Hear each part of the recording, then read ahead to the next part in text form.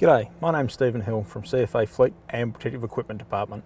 Today we're here to show you around CFA's latest standard build FCV, also known as a Field Command Vehicle. These vehicles are built on a Ford Ranger XL 3.2 litre turbo diesel cab chassis, 6-speed automatic transmission. Custom built body built by Quick Corp in Laverton, Victoria. The body is designed to be as light as possible without compromising strength, but also to maximise payload.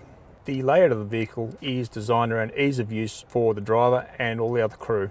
All the controls for the vehicle are centered on one control pad in the center of the console. When activated in code 1, green lights will come on above the front and rear license plate.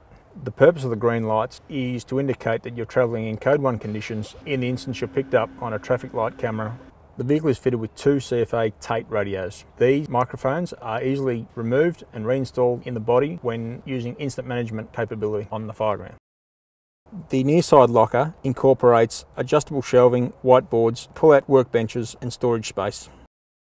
The near side under tray locker is where the dual battery is housed and all relevant fuses and circuit breakers. Uh, the rear compartment is designed as free space for brigade and storage space. The offside locker features the Engel fridge with a tilt drop down bracket. When the fridge is slid out, the fridge pivots and tilts down for ease of access. Offside under tray locker is spare and empty for brigades to stow items of choice. The rear under tray drawer comprises of a magnetic whiteboard desktop, storage on the underside and a briefing board that can be stood up to carry out a briefing.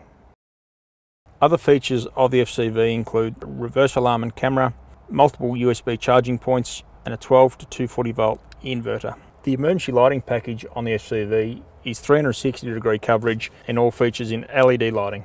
And it's fitted with an engine snorkel and a tow bar as standard. This is the fourth generation of FCV. There are 75 of these currently in the fleet today.